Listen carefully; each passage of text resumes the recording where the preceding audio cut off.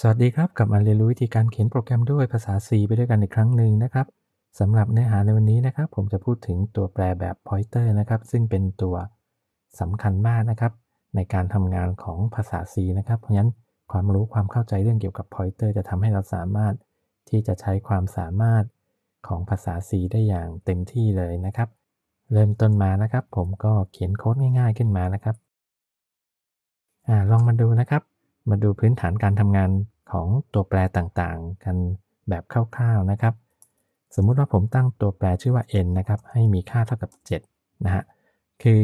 ตัวแปรต่างๆนะครับที่จะถูกใช้งานได้นะครับในตัวโปรแกรมคอมพิวเตอร์เนี่ย มันจะต้องถูกเก็บไว้สักที่ใดที่หนึ่งในตัวที่คอมพิวเตอร์เรียกว่าหน่วยความจำนะครับ ตอนที่เราไปซื้อเครื่องคอมเราจะบอกว่าอ่าสเปคแรม4กิกอะไรทำนองนั้นเนี่ย ยิ่งตัวแรมมากตัว เครื่องเราก็จะมีหน่วยความจำเอาไว้ให้ใช้ได้มากนั่นเองนะครับ อันนี้ก็เหมือนกันนะครับงั้นถ้าผมทำแบบนี้นะครับ แล้วผมสั่งพิมพ์ออกมาดูนะครับ ค่า n เท่ากับเท่าไหร่เนี่ย ผมก็บอกเปอร์เซ็นต์ดีใช่ไหมครับ เลขอันหนึ่งนะครับ ผมบอกว่าตัวแปรทุกตัวนะครับ มันจะต้องถูกเก็บไว้ที่หน่วยความจำที่ใดที่หนึ่งนะครับ ถ้าผมพิมพ์ค่าแบบนี้นะครับ ตัว ampersand n เนี่ย ดูนะฮะ มาดูโค้ดที่เขียน แบบนี้เนี่ย อลองดูโค้ดง่ายๆ แค่นี้นะครับ สั่งรันดูนะฮะตรงนี้นะครับความหมายก็คือตอนที่เราสร้างตัวแปร n นะครับ n มีค่าเท่ากับ 7 เห็นไหมครับ ตรงนี้เนี่ยส่วนตัวที่ตั้งนะครับในหน่วยความจำนะครับ จะเก็บอยู่ที่ตรงนี้ตัวนี้เป็นระบบเลขฐาน 16 นะครับ ว่าตัว n ตรงนี้นะครับที่เรามี ampersand อยู่ข้างหน้านะครับ เครื่องหมาย and ข้างหน้าเนี่ย หมายความว่าขอให้แสดงว่าที่ตั้งนะครับ ในหน่วยความจำที่เก็บตัวแปร n เนี่ยอยู่ที่ใดนะฮะสมมุติว่าผมตั้งอีกอันหนึ่งแล้วกันว่าเป็นตัวแปร m แล้วกันให้ค่าเป็น 20 แบบนี้นะครับ เดี๋ยวนะครับ เดี๋ยวผมนี้เป็นตัวแปร m นะครับ ตรงนี้แก้ค่านิดหนึ่งนะเพื่อความเข้าใจนะครับอ่าแล้วก็รันนะครับ ลองดูนะครับคันนี้นะครับตัวแปร n กับ m เนี่ยจะเก็บอยู่คนละที่เห็นไหมครับ อันนี้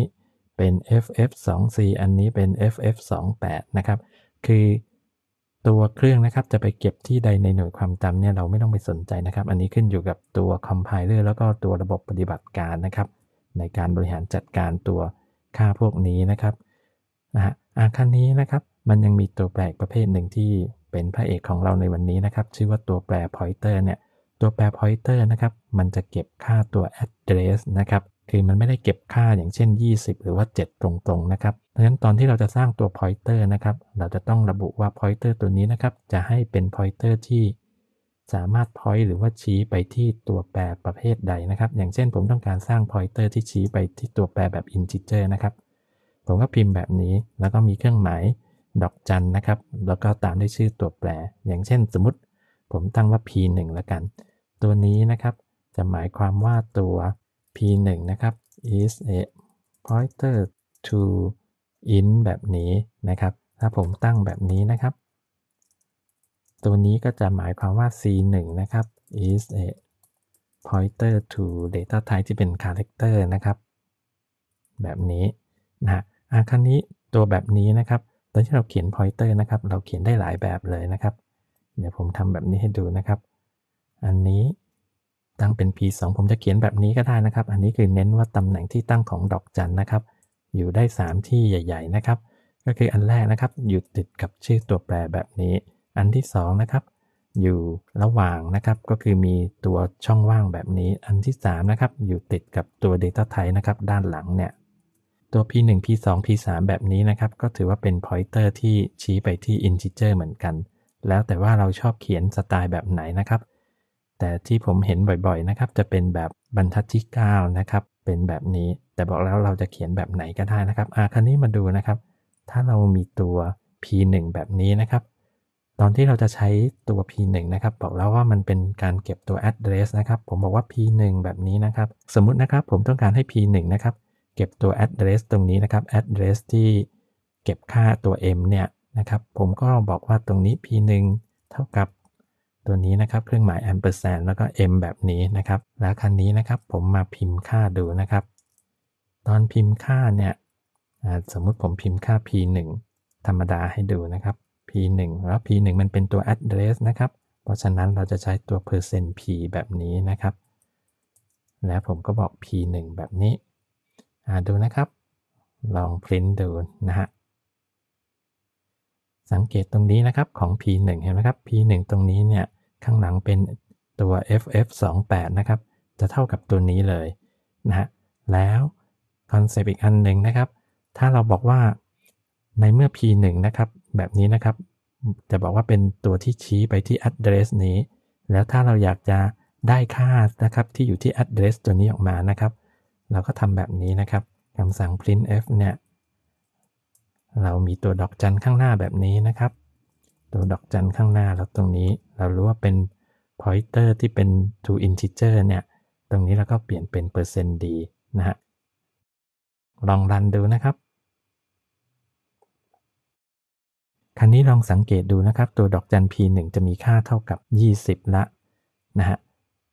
ตัวดอกจัน p1 นะครับ แบบนี้เนี่ยเราจะเรียกว่า เป็นการ dereference นะครับ dereferencing เนี่ย dereferencing ก็คือเป็นการเอาค่านะครับ ที่อยู่ในหน่วยความจำที่ p1 ชี้ไปนะครับ ซึ่งมีค่าเป็น 20 เนี่ย ออกมานะฮะคราวนี้นะครับลองมาดูตัวอย่าง แบบถ้าผมจะใช้ตัว Excel นะครับ เป็นตัวอย่างนะฮะดูนะครับ อย่างเช่น ผมบอกว่าตัว m เท่ากับ 20 เนี่ย ใน Excel จะเป็นอารมณ์คล้ายๆ อย่างนี้นะครับ m เท่ากับ 20 เนี่ย อันนี้อาจจะต้องมีความรู้ความเข้าใจพื้นฐานของ Microsoft Excel สักหน่อยหนึ่งนะครับ สมมุติผมมองว่าตัวชีตใน Excel นะครับ แต่ละเซลล์เนี่ยก็คือ address 1 ที่ตั้งแล้วกันนะครับ อย่างเช่นในนี้เนี่ยตัวเลข 20 นะครับ ถูกเก็บอยู่ใน address C3 ใช่ไหมฮะงั้นถ้าผมบอกว่าตัวนี้นะครับ P1 นะครับ สร้าง P1 ขึ้นมา แล้วผมบอกว่าให้ P1 นะครับ เท่ากับตัว ampersand n เนี่ย ตัว p1 นะครับ ข้างในของภาษา C เนี่ย มันก็คือบอกว่าตัว ampersand m ในที่นี้นะครับ มีค่าเป็น c3 แบบนี้นั่นเองนะฮะ มันจะเก็บ address c3 แล้วตัวดอกจัน p1 แบบนี้นะครับ มันก็คือค่าที่อยู่ในเซลล์ c3 เพราะฉะนั้นถ้าผมพิมพ์เท่ากับ c3 แบบนี้เดี๋ยวนะครับนะครับ เราได้ค่า 20 ออกมานะฮะ นี่คือความหมายนะฮะ หลายคนอาจจะรู้ว่า เอ๊ะ แล้วอย่างนี้ แล้วแล้วไงต่อแล้วจะไปทำอะไรเนี่ยถ้าผมมองตัวอย่างแบบ Excel นะครับ อะไรจะเกิดขึ้นถ้าตรงนี้นะครับ ผมทำให้ดูตรงนี้ ผมบอกว่าเปลี่ยนตัว เปลี่ยนค่า m นะครับ เป็น 99 ดูนะครับ แล้วผมสั่งพิมพ์ค่าตรงนี้ออกมาใหม่นะครับ ดูนะฮะตรงนี้เดี๋ยวผมพิมพ์ตัวขีดขีดให้ดู อ่า เป็นแบบนี้ ถ้าผมเปลี่ยน m ตรงนี้เป็น 99 คือเพิ่งให้ถ้าผมเปลี่ยน ค่าเซลล์ C3 ตรงนี้เป็น 99 เนี่ย ลองมาดูว่าอะไรจะเกิดขึ้นกับค่า P1 นะครับ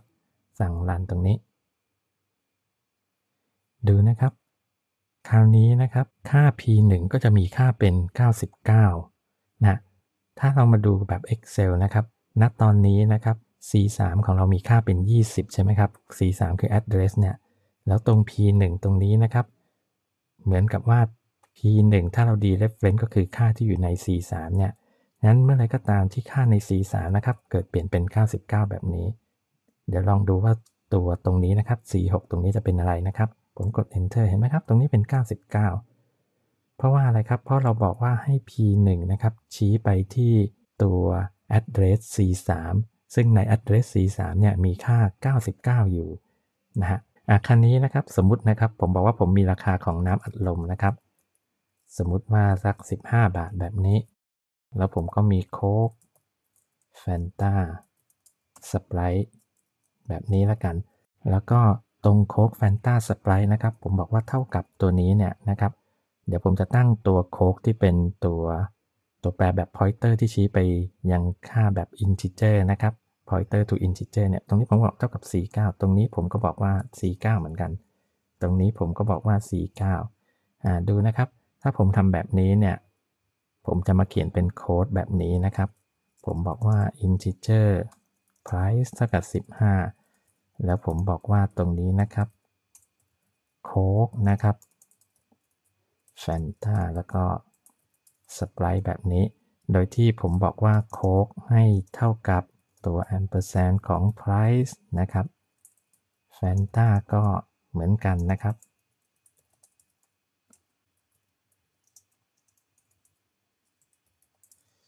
ดูนะครับ ถ้าผมทำแบบนี้เนี่ย แล้วก็ผมสั่ง print นะครับ price ตรงนี้เท่ากับ อ่า แล้วถัดมานะครับ ผมก็สั่ง print นะครับ อันนี้เอาง่ายๆนะครับ แล้วผมบอกว่าอันนี้เป็นตัว dereference ของโค้กซึ่งก็จะได้ค่าที่อยู่ใน address นั้นออกมานะฮะ อลองดูแบบนี้นะครับ ถ้าผมเขียนโปรแกรมแบบนี้แล้วผมรันดูนะฮะลองดูนะครับ price ตรงนี้คือ 15 ใช่ไหมครับ แล้วผมบอกว่าตรงถัดมานะครับ ให้โค้กแฟนตาสปรายนะครับ ชี้ไปที่ address เดียวกับที่ price อยู่ เพราะฉะนั้น พอชี้ไปที่เดียวกัน แล้วตอนผมตัวอย่างนี้นะครับ d reference ออกมา เพราะฉะนั้นตัวนี้ก็จะกลายเป็นตัว 15 15 15 ใช่ไหมครับ คราวนี้นะครับ ข้อดีของตัว pointer คืออะไรจะเกิดขึ้นหากผมบอกว่า price นะครับ เท่ากับ 20 แบบนี้ แล้วผมก็สั่ง print ตัวนี้ใหม่นะครับ ลองดูนะฮะคันนี้นะครับทั้งโค้กแฟนตาสปรายนะครับก็จะมีค่าเป็น 20 นะครับ ทั้งทั้งที่ผมปรับค่าตัวนี้ตัวเดียวเลยนะครับ ปรับค่า price นะฮะซึ่งตัวนี้นะครับมันคือพื้นฐานของแนวคิดแบบ spreadsheet เลยนะครับ ตัว Spreadsheet ก็คือการสร้างความสัมพันธ์ระหว่างสูตรเนี่ย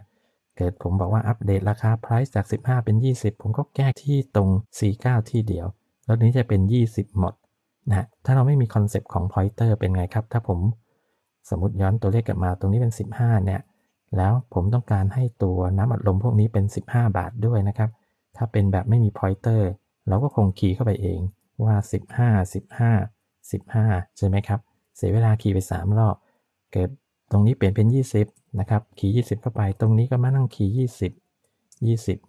20 นะฮะ แต่ถ้าเป็น pointer นะครับ เราสามารถจะสร้างความสัมพันธ์ในลักษณะเหมือนกับตัว spreadsheet ย่อยๆ ขึ้นมาได้ แบบนี้นะฮะ อันนี้นะครับกล่าวโดยสรุปง่ายๆ ณ ตอนนี้ก่อนนะครับ ก็คือถ้าเรามีตัวแปรนะครับที่ชี้ไปที่หน่วยความจำเดียวกันนะครับ ถ้าค่าที่อยู่ในหน่วยความจำนั้นเปลี่ยนนะครับ ตัวพวกนี้ก็จะเปลี่ยนตามไปด้วยโดยอัตโนมัตินะครับ คราวนี้ลองดูอีกนิดหนึ่งนะครับ หากผมบอกว่าตัวแฟนตาละกัน ตรงนี้ผมบอกว่า ขอเปลี่ยนค่านะครับ ค่าที่หน่วยความจำที่แฟนตาชี้ไปอยู่เก็บเนี่ย ให้เป็นสมมุติว่า 19 เนี่ย ผมทำแบบนี้นะครับ แล้วผมก็สั่งพิมพ์ตัวนี้ใหม่ดูนะครับ ว่าอะไรจะเกิดขึ้นกับราคาของโค้กแฟนตาสปรายรวมถึงตัว price ด้วยนะครับ ลองดูแบบนี้ละกันนะครับ เดี๋ยวดูคำตอบของอันนี้ซังลั่น ดูนะครับคันนี้นะครับ ตอนที่ผมเปลี่ยนเนี่ย ผมเปลี่ยนค่าให้กับ Fanta ตัวเดียวนะครับ แต่ลองดูนะครับ2บรรทัดสุดท้ายที่พิมพ์ออกมาเนี่ย ราคานะครับ ตัว price ตรงนี้นะครับ เห็นไหมครับ ตัว price นี่ก็ถูกเปลี่ยนไปด้วยนะครับ ค่ามันจาก 20 เนี่ย จะถูกเปลี่ยนเป็น 19 รวมถึง Coke Fanta Sprite ด้วย อันนี้คือคอนเซปต์ของ pointer เนื่องจากว่าตัว price แล้วก็ coke fanta sprite นะครับถูกเก็บอยู่ในหน่วยความจำที่เดียวกัน เพราะฉะนั้นถ้าค่าในหน่วยความจำจุดนั้นถูกเปลี่ยนไปนะครับ ตัว price coke fanta sprite ค่าของมันก็จะถูกเปลี่ยนไปด้วยนั่นเองนะฮะเอาละครับสำหรับตัวอย่างเบื้องต้นในตอนแรกของเรื่อง pointer ในวันนี้ก็ขอจบลงเพียงเท่านี้ ขอบคุณสำหรับการติดตามรับชม สวัสดีครับ